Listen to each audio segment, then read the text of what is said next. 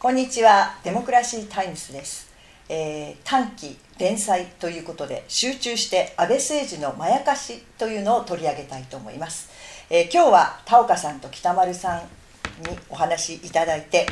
こういう題名でいきたいと思います。これでは日本は守れない、役に立たない爆買い装備ということで、えー安倍さんがたくさん買おうとしている武器っていうのは本当に日本の防衛に役に立つのかなっていうところを考えてみたいと思っています。でまずですねトランプさんが来まして一躍著名になりましたが日本も空母を持つことになったと言われています。田岡さんこれは空母ですか？もうさ空母であることは間違いない。それあの航空あの航空。母の定義って何ですか？まあ単に航空あの航空機をまああるあの航空離発着できるできる。それでまああの甲板がね大体こうあの後ろ一部だけ後ろにあの甲板飛行甲板があるのだけどそれはまあ空母と言わないんでその全通甲板。べべったり前まで。後ろから前まで、ええ。こちらの写真で見ると、ええ。ーっともうこうなんていうんですか、こういう突破った出っ張ったのは端っこにあってこっち側はも仮装仮装路に使える。ね。うどうですかこれ？あのね、僕、加賀、加賀、いあの、加賀、あの、と、それから、あの、あれ、もう一つは、あの、あの、出雲と二隻、二隻あるんですがね。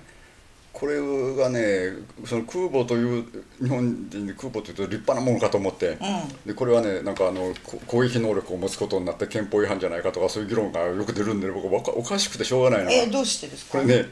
あのヘリコプターね14機最大搭載搭載できるんですよ。ということはねどういうこと？でそうすると何が積めるかってね多分戦闘機8機うあのーねんあのこの5機しか。ここれこれはまああの写真甲なんですか板甲板の上だからこれ関係なし。下に下に下下下にいる下が下がその格納庫格納庫ですから。はあ、あのまずね空早期警戒機あの、レーダーは大型レーダー積んだものそれをね4機はいるんですよ、なぜなぜかというと相手はねあのし低空で水平線の影に隠れてこう接近してきて、でこう近くに来るとパッと浮いてそれであの向こうの日本のこれ,、まあ、これなの見てこれあのミサイル撃ってまた下がって逃げちゃうから、でそれを防ぐためにはこちらも高いところから見下ろしするしかないわけで、レーダーをつけて。でアメリカは早期警戒 E2C、E2D これを4機ずつ積んでまして交代で、まあ、これはそんなもの積めないからヘリコプターに大きなレレーダーをつけるとしても、まあ、4機は同時している、それからねもう一ついるのはねあのこれでやっぱり着艦に失敗してボシャンやることがあるから着艦にあの 時々ありますねアメリカの報道で。あよよくあるんですよ。だから結局その時はヘリはねもういつも1機は、あのすぐ出られるように待機してピックアップすると、そうすると1機常に出されるためにどうしたって2機整備もあるから常に2機は行きますそうするとね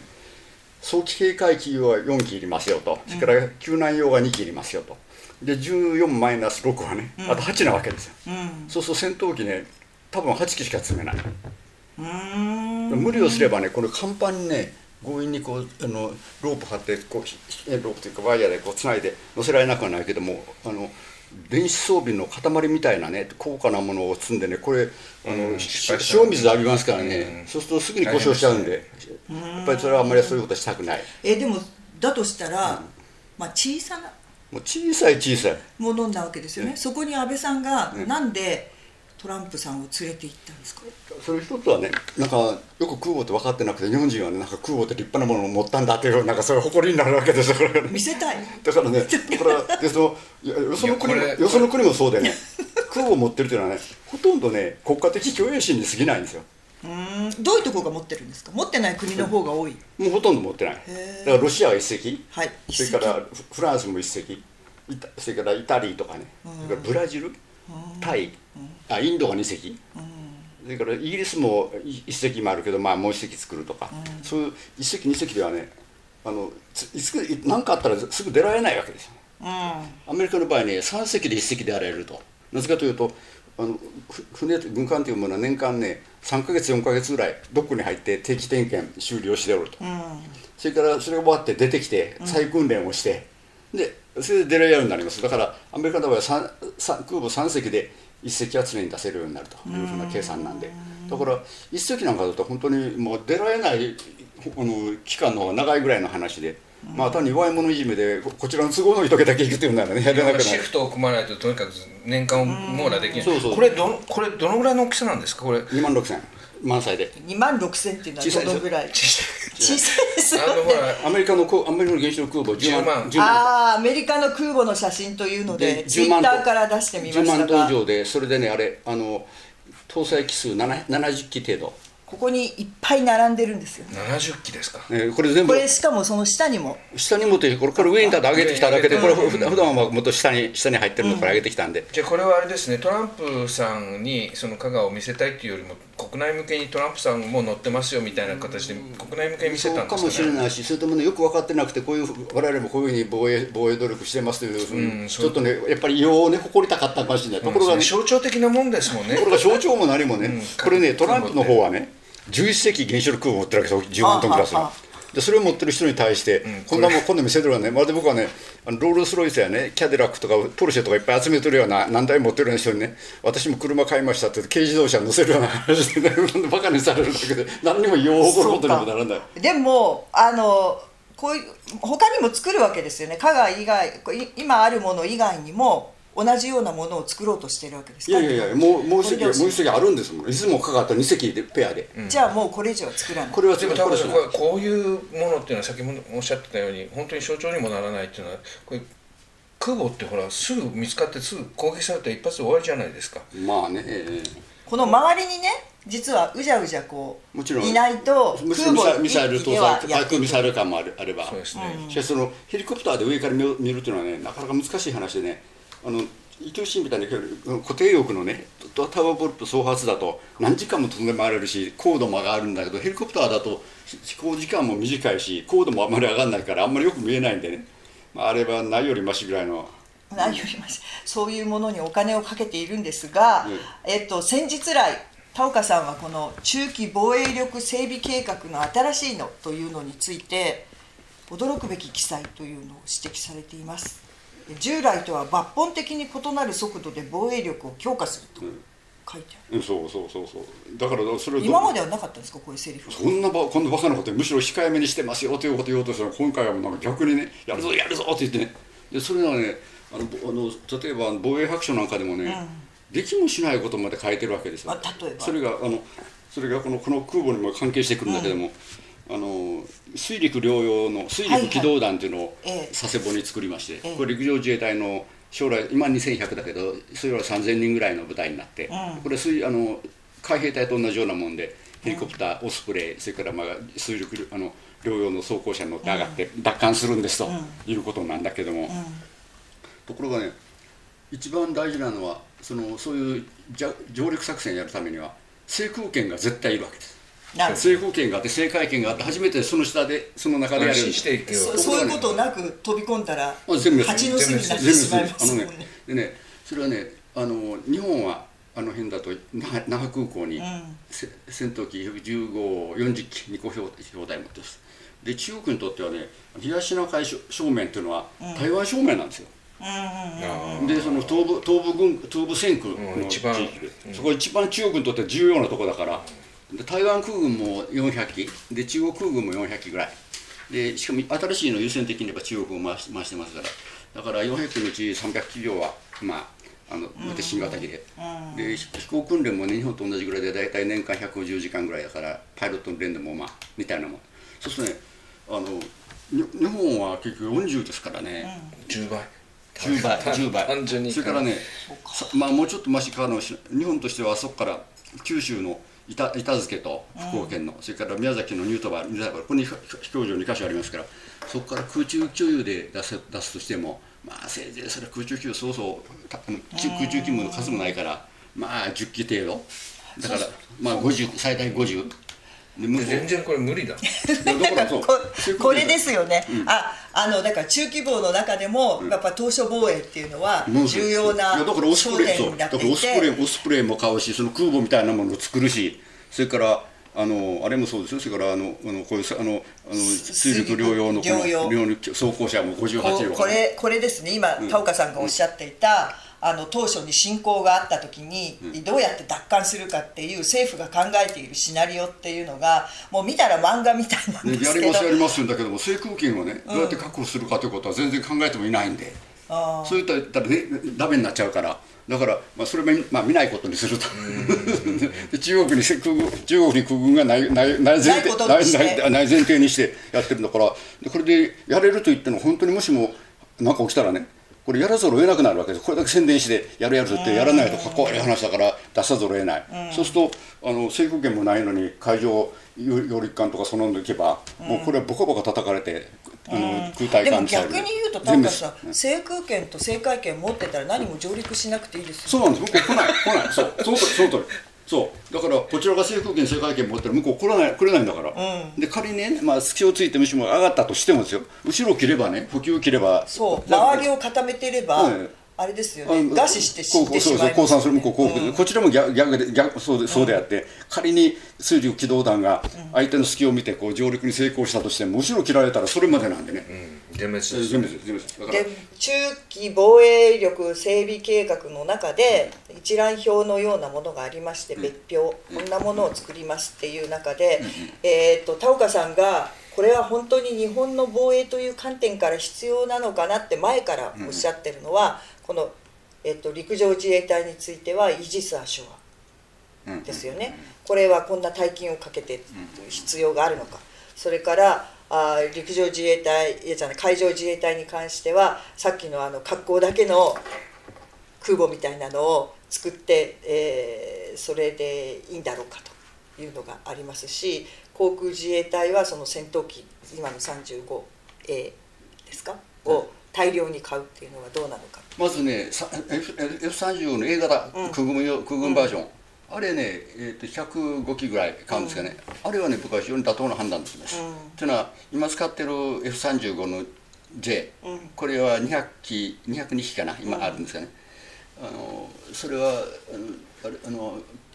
後期に納入した分の100機ぐらいは、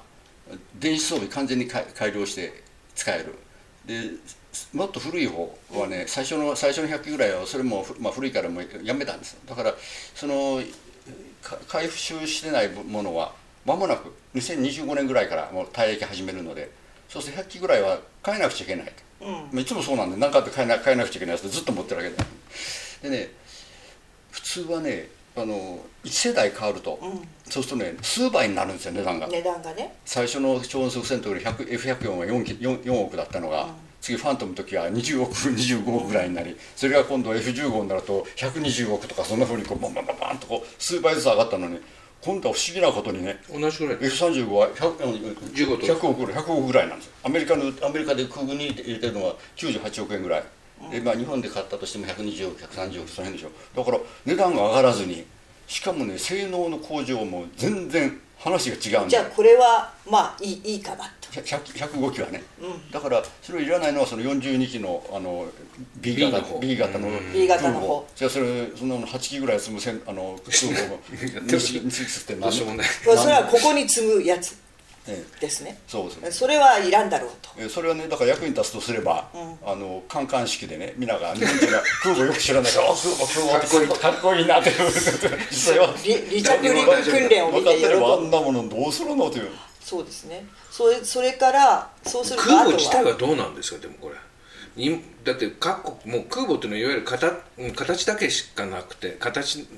で意味しかなくてそうで戦闘的にはだって空母なんてすぐボカンとやられちゃいうやしかしアメリカのね、あの 10, 万あの10万トンクラスのね、原子力空母11隻、あれは本当戦力ですよ。それはそうですよ。いやいや日本の場合。これ。あ日本の場合なんかこれ戦力にならないし他の他の国国ののも大体は、うん。例えばブラジルがね、オーシャンっていうのはイギリスから古いの古いの買って今持ってますし、まあ、他のところちょこちょこ作ってる。んですけど、あれはまあわ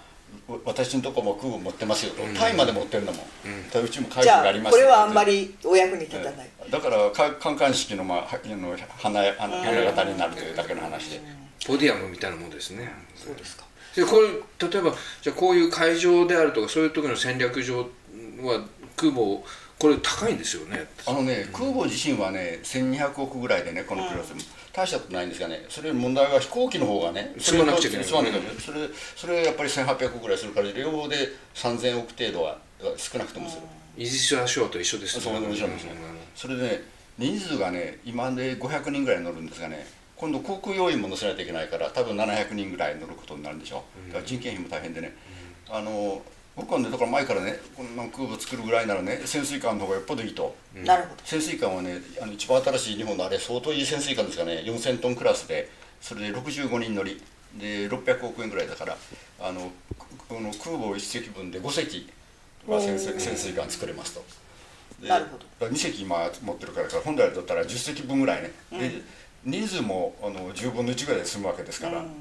だからその方がはるかにそれはあの戦略的には戦略的にはそれあのやっぱり向こうにしてみればポンと沈められるわけじゃないんだから潜水艦なん。かどこにいるか分かんないわけしそれから今ミミサイル撃ってますからね。そうそう。潜水艦の、ね、攻撃能力はね昔と違って魚雷だけじゃなくて、あのだ例えば陸地を積めトマホークも積めるし対艦ミサイルも積めるし全全面的にもいろいろ力持ってるんで。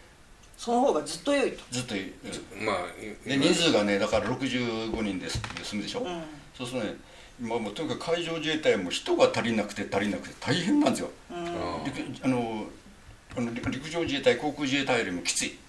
例えば、うん。高速高速時間がずっともう24時間高速でななん1か月とかね、そん。なことになるわけだし、なん。か例えばいじめ自殺みたあいなのが結構ありよそういうことあるんですよ。辛いからきついから、うんそれから携帯電話ね、使わせないとかね、うん。そう電波出すと分かっちゃうじゃないですか、はいはいはい。だからだから水水兵たちも全部出せよって言って全部携帯電話あの預かってきなんかロッカーに入れて鍵かけちゃうとかそうしないといけないわけだし。だからもういろいろベッドだって三段2段ベッド3段ベッドなんていうのもまあありますね。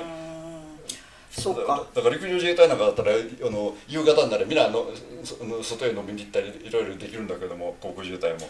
人のこともあるし、ねまあちょっと空母化してそういうところを補強してもあんま役には立ちませんよ。むしろ大人をね余計に使うだけでとねいうことですよね。だってあの今ねもう人が足りないからね、新兵でね32歳までね取りますということになってるわけですよ、どんどん上げてきて。もうだ本当に人が足りない。だからあのあのたくさん人乗せるよりは潜水艦の方がよっぽどそれは、それと前から田岡さんはオスプレイを買うぐらいだったらええ他のもの買った方が良いっておあっしゃってそれはねアメリカ陸軍そうなんです。オスプレイが買わないんですもん小さいもんこれがねあれ20人ぐらいで、まあ、もう膝と膝がねす向き合って座るとねもう触るぐらいのこんな狭いものでね。うん。だからあんまり物を詰めないんですよ。でねあのああのアメリカ陸軍は CH47 というあの大型ヘリ使ってまして、これはね60人ぐらい乗れて、うん。中にトラックやジープそのまま乗るんだもんうんそれはもう本当に実践践実践でずっと使われてきて対応性も分かっていてね。使い勝手もいいってことが分かってるからそっちの大きいヘリにするわけですそうそれでよね。で搭載能力3倍？うん。オスプレイの、うん。それ値段も半分。うん。でも誰もだからオスプレイの方が買うわけだからない米米軍自体が、うん。えっと、海兵隊貨幣隊が押し付けられがてた押し付けられて使ってる。ええ。あとは使わない。使わない。空軍空軍はねあの撃墜されたパイロットの救援救出を。それだとねちょうどヘリコプターみたいですスピードも速いしあのヘリコプターに比べればスピードは速い。確かにこうこうこう前倒して飛ぶわけだから普通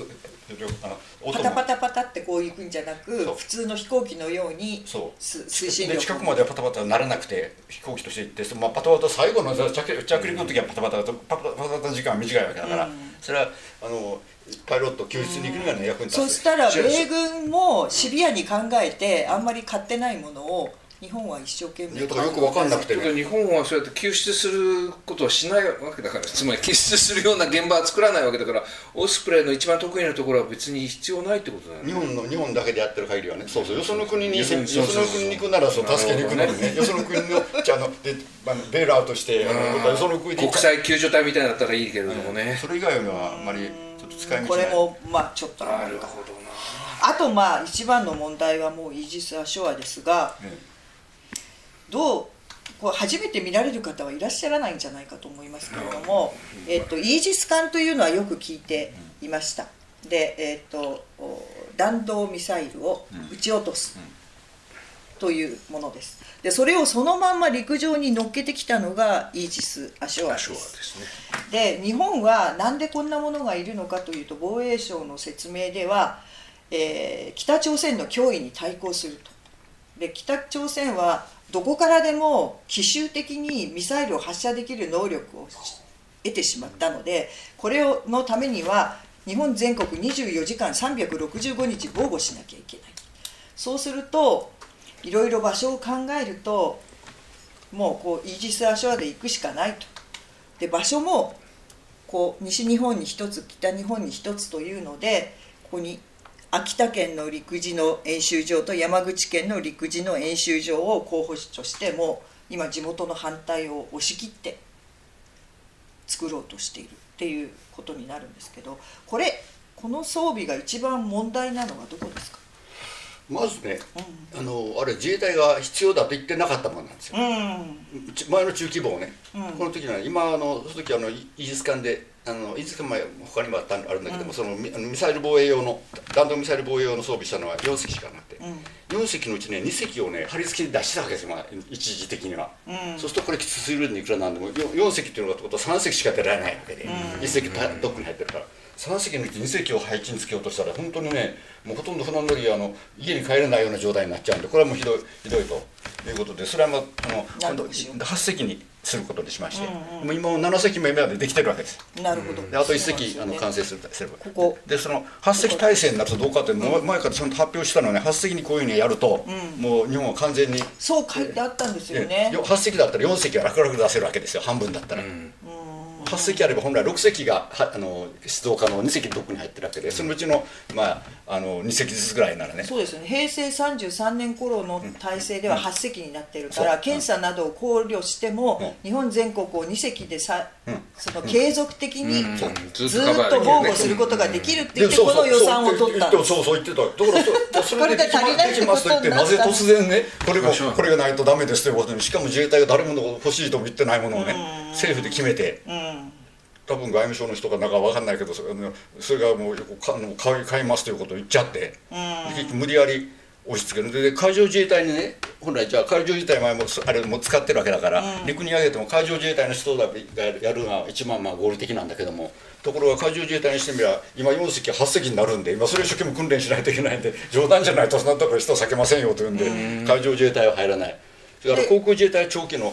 長射程の対空ミサイル持ってる。これも今パパパトリットのパック3の新しいのが入りかけててまあまああれなんでとてもややらないと。で陸上自衛隊に変なことを押し付けちゃったんですよ。陸上自衛隊の対空ミサイルっていうのはね本当にあの担いでってヘリコプターを撃つようなものとかねせいぜい射程が中射程50キロぐらいのものしか持ったことはない。それがね今回はね射程2500キロなんていうね その冗談ミサイル突然ね渡されてやれと言われたってどうやどう陸上から遠く離れるわけですよね。いやだからもともと日本の自衛隊というか日本の防衛省が考えていた日本の防衛のための体制という中にイージス・アショア入ってなかった。で突然入ってきて、で田岡さんはこれは日本防衛じゃなくアメリカ防衛じゃないかと言っておられてアメリカのミサイル防衛システムのやつをちょっと見てみたらここからボーンと来たらこうハワイですかねこれはね。ハワイでこうめっけてってアメリカはこう上がっていくところで落とす。飛んでるところで落とす。落ちてくるところで落とすっていうのを考えていてここはカリフォルニアにある基地ですこれしかし前のあれでイージス・アショア計算に入れてないもん。そうそうなんです。それで、うん、今ここにイージス・アショアがここにできたとすると、どうなるかというとその初期のあ水平線から上がってくる、うん、最初のところは日本にお任せできる。まあそうはい早めにあのね、うん、しかもねこれ日本防衛でないことはっきりするのは、日本防衛をしようともやったらやっぱりその首都圏か、大阪の関西圏かでしょ、うそうするとね北朝鮮の北部にの三角地帯に大体ミサイル陣地あるんで、うん、それからあの東京方向を狙うとすれば能登半島の上通るわけですよ。うん、それから大阪に行くんなら、うん、あの沖ノ島の上ぐらい通るわけ。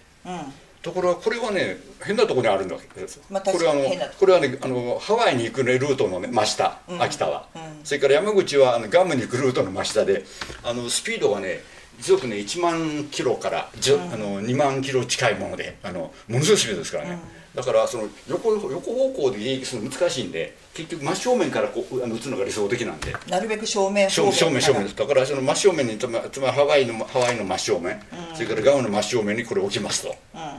でだからそれそれ見てもこれはこれアメリカの防衛のためじゃなと。でねアメリカの防衛のためであるというんならね、あのす少なくとも金日本に置かせてくれと言ったって金は向こうが出すべきであって。そうなんですよね。ヨーロッパに、うんうん。えっと、ルーマニアルーマニアとポーランド。ポーランドにうんうん一応このイージス・アショアっていうのはいはいははい。もうすでにできてるんですあけど、だできつつある一つだね、これはアメリカがアメリカ軍が運用してアメリカのお金ではい、やる。それから韓国のあのもうちょっとちしてて短いけどサードというのも、これもあのアメリカ軍が全部全額負担、日本はあの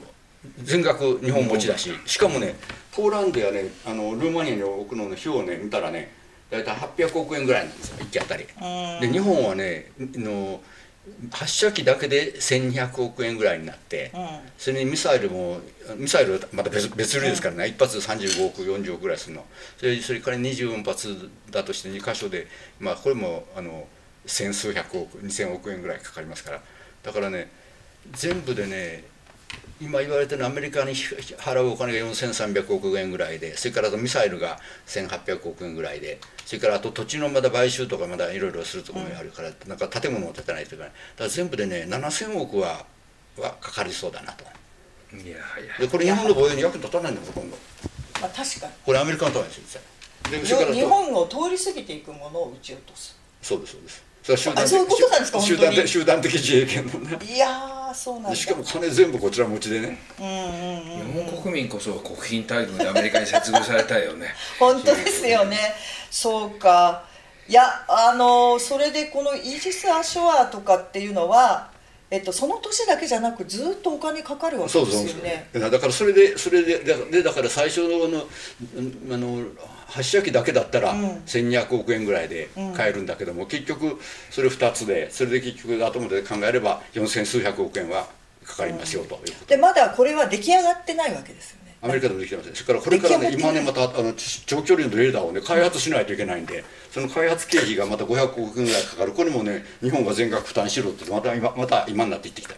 最初はね 最初はね800億円だったんです1機ええでそのつもりでの防衛省もやろうかという話だったの。がそ,、れがどんどんどんどんあっという間に値上がりしてくる。うんでねしかもね FMS っていうのは危ない話でねあれ、あの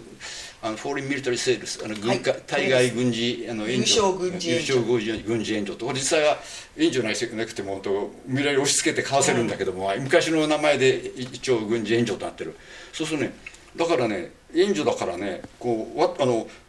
恩恵的に売ってやってるという形になる。そうするとねあのな価格もね契約した価格もこれ変更ありますよと。それから納期もあのこちらの都合で変わることありますよね。そうなってるから値段も納期もね向こうの言うままになっちゃうんで。だから最初800億というのはあっという間にあのせあの1期1200億円ですよって話でいやその後この後の経費もいるから通売買でありえませんよね。物買うときに代金が変わるって、ね。こんなことやこんなこと無理やりやったらねあの、独禁法違反ですよ、優優越的地位の利用みたいなまあ話。確かにうんそうそうするとこ今後どうなるかわからないそれ先ほどおっしゃってたそのレーダーを開発開発しなきゃいけないって確か新聞報道を見るとそれをあの研究するための施設みたいなのをハワイに作るのに、その施設も日本がお金を出せと言ってるんですよね。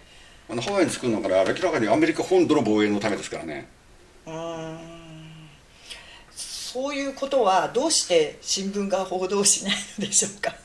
これこれはやりすぎですよと。大相撲を見せるのよりやりすぎだと思います。報道しないんでしょうかって僕なんかしか新聞に相当書いてますよ。だけどあんまりねよみんなよくわかんないんだ。うん。だからそのへへのこのああいうとかいやよくわかるから目に目に見えるからわかりやすいからこっちの方の方が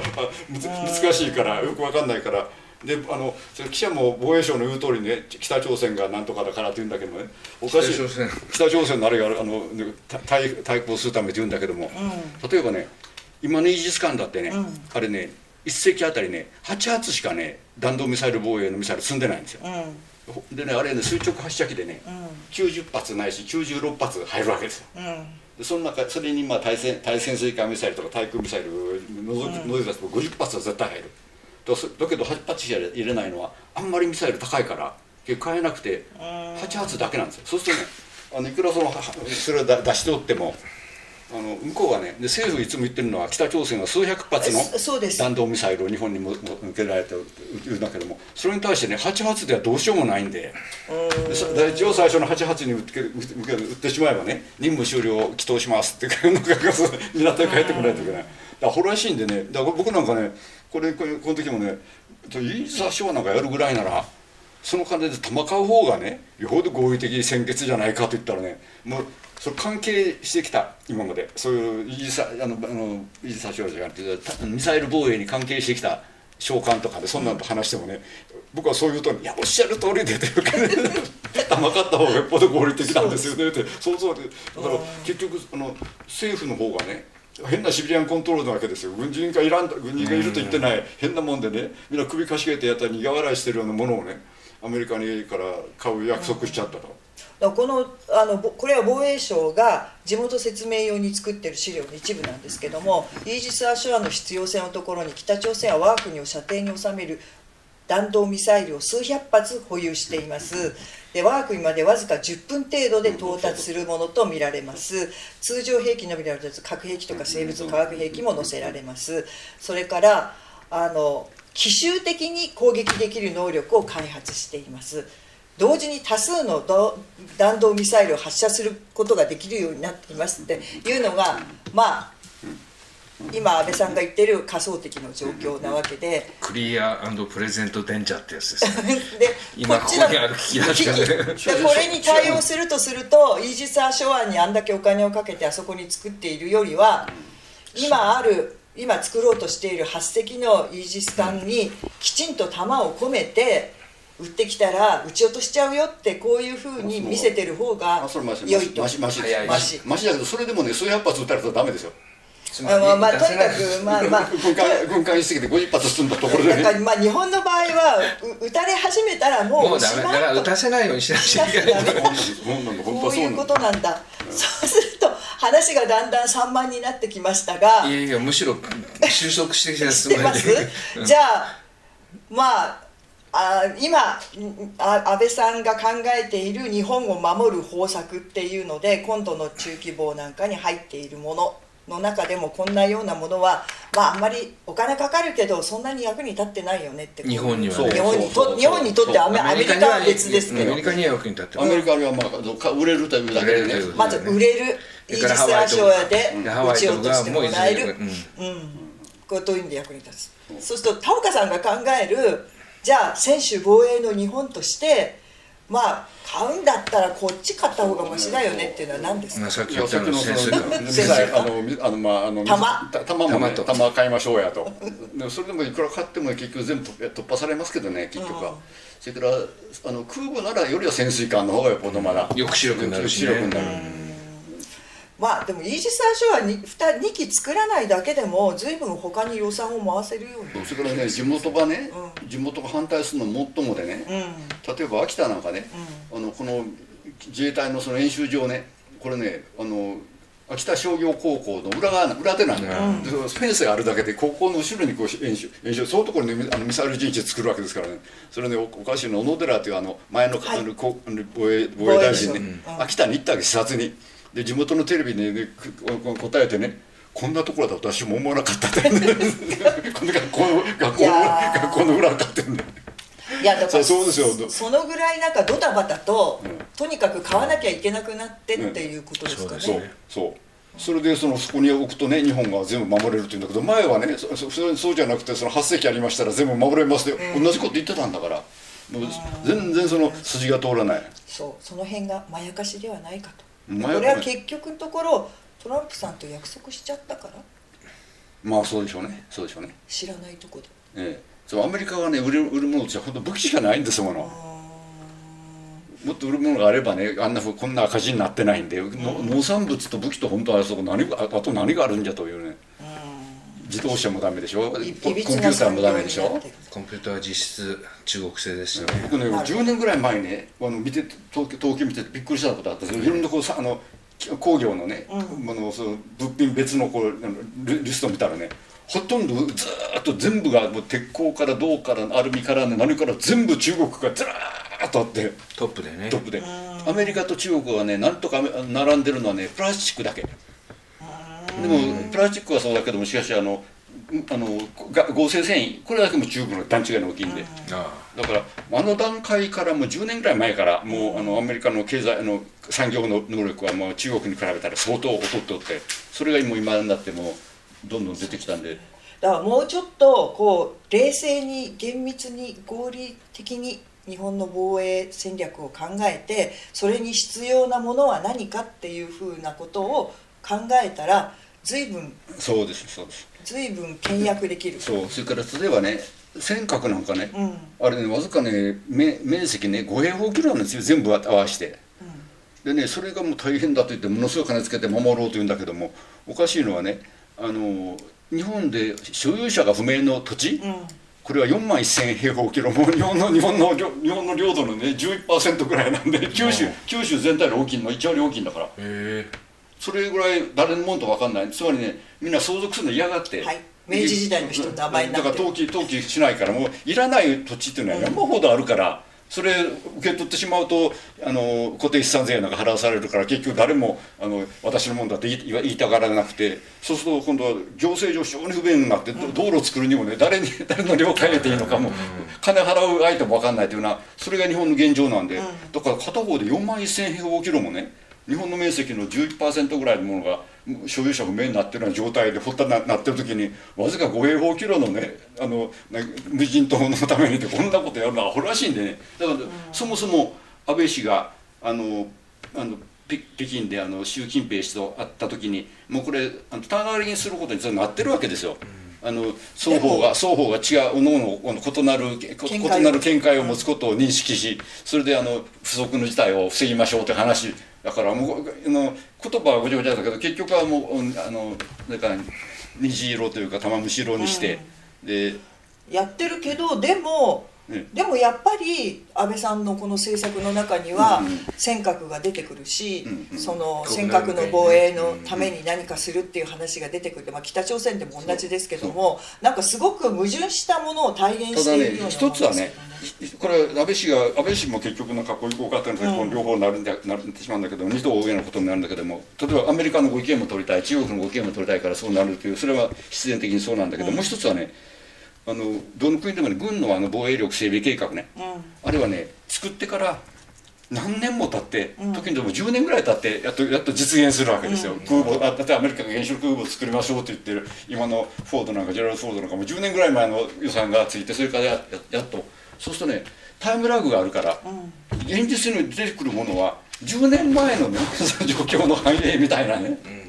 あれ間違いやすいね。よくね演習なんかでもね 何かが演習演習をすると各々司会時間のことがあったから演習してるんだというすぐ書くわけですよ。で僕がしてるのは何バカなこと言ってるかと。演習ってその急にできるもんじゃないんで、特にこの共共同演習なんか、あ2年ぐらい前にやるんですから決めるんですから、でその国と一緒になってるのがだから2年前の話決ま決まったの実験実行しされてるんでそれをごくごく最近の事象とね合わせて合わせてこうなんか言ってるのはねバカみたいな話で。だからそうズレがやっぱり出てきてそうそうそう。だからこれも、あのせんあの尖閣問題でも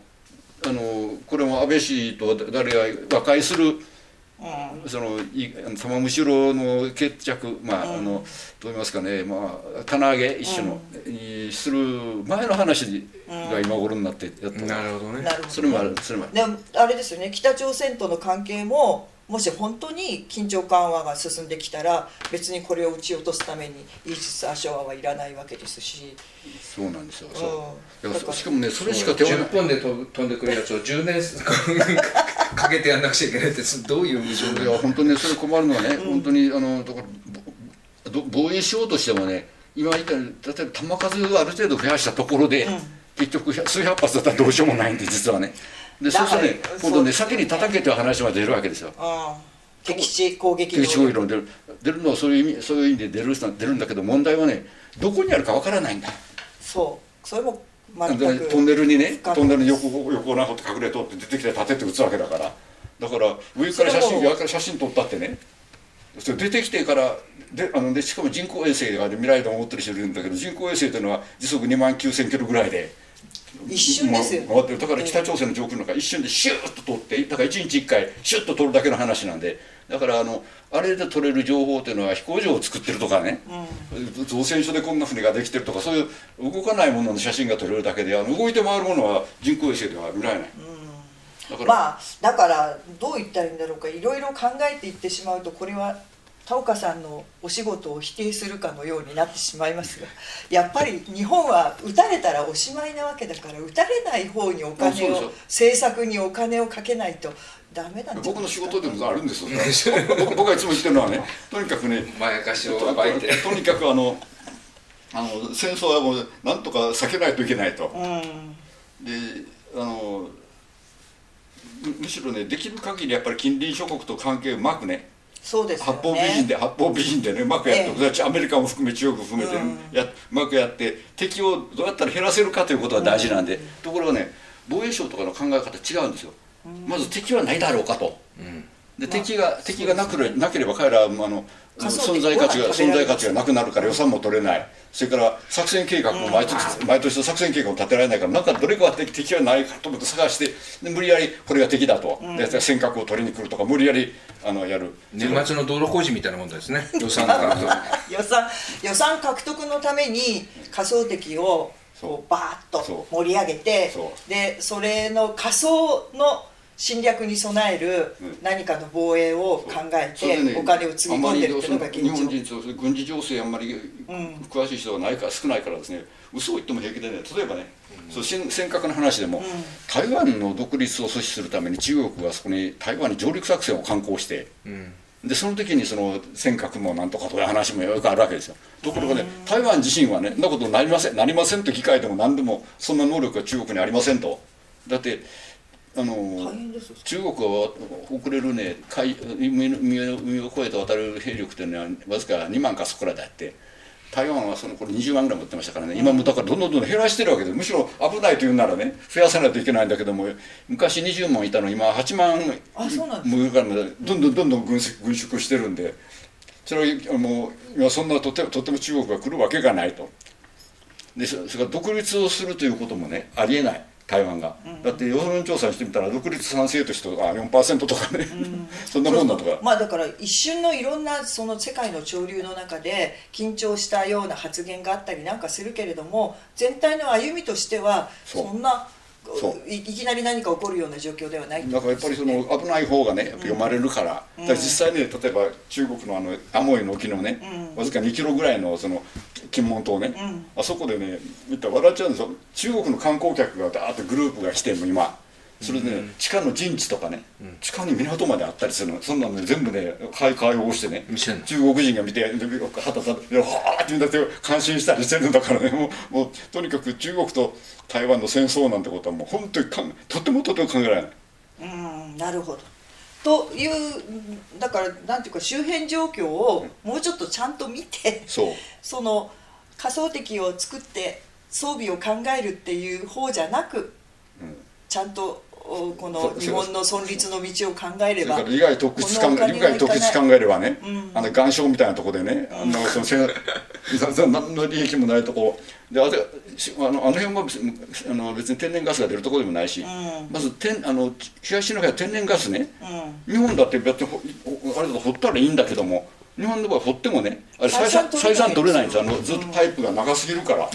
であそこでだからその今度じゃあ一回しようとするならあそこに原子力発電所なんか作って電力でもなければ一回できないんで、だからとてもダメで中国の方は日本まで近いからあのパイプで行けるから採算が取れるんで。だからあそこはね中国にやるやるようにしてねもう。やる。中国にややってもらってそれでねあの代わりにねいやだかからその、まあ、せ天然ガスね。お前とこも掘る権利あの貸すから、ん。だからその毎年その、け使用料ちょうだいよとかね、それでそういう話でそれから尖閣ににに関してはもうすでにややってるようにあの玉虫色にして、うん。棚上げにしておけば。あんまり領土。そうしないとねどどちらもね国民というのは意外とアホなものでね領土に関しては異常なほど興奮するんですよ。ねえあれあれ猿ねの猿の時代の話なんだ今ではね例えばね。例えばねあの日本は第二次大戦で負けて、領土面積20%になってるん。ですよ、80%失ってるんだから満州まで含めれば、ところがそれで日本はバーンと、ね、あの、世界第二の経済大国になりドイツもそうでその前に、あの東ドイツオーストリアとか全部捨てたからあれ人口あの面積40%ぐらいになってでそれがまずあのせ戦後十数年で、あのイギリスフランス要するに荷物が少なくなるってことですよ有利なねすごく管理が大変なところがなくなるから。だからシンあのシンガポールなんかね、あそこに一人当たり GDP はあれ今5万6千ドルか 6, 万ドル日本の1.5倍ぐらいになって、イギリスははるかにしのぎでね、世界で最も豊かな国になってしまう、そうね。で同じ中国人に話してもシンガポールが一番豊かで次は香港とかその辺で、それから台湾で、中国本土はやっぱり比較的に貧しいですまだその一人当たり1万ドルでやっとんだったけども、広すぎてね。いや広い方がすっぱりだからねプリまあ。シンだから考え方変えなくちゃね。そうあれあれ農農業時代とかね狩猟時代の考えなんだ。テリトリーを本的に大してるの。根本的に考え直しましょう防衛政策は。そうすると私たちの身近な生活一人一人の国民の人生が豊かになる方にお金を回すこともできるし気持ちもね穏やかに過ごせるんじゃないかなと思いますあのいろいろ錯綜しましたけどお聞きいただくとなんでこんなあの中規模をやって苦労しなきゃいけないのかってことは分かっていただけたかなと思います。まあ似たような話はまた今後も続けたいと思いますのでまたよろしくお願いいたします。よろしくお願いします